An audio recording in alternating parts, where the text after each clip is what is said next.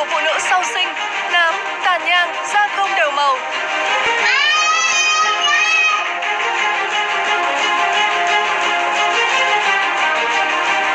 sinh nở xong cơ thể đã xuống cấp rồi và lại còn nám với tàn nhang nữa mình hết nám, ngày nào đi làm về cũng thấy vui, thấy giờ mình vui, mình.